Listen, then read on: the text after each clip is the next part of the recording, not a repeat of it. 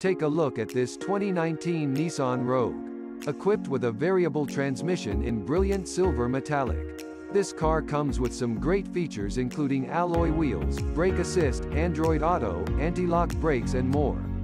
Come in and check it out today.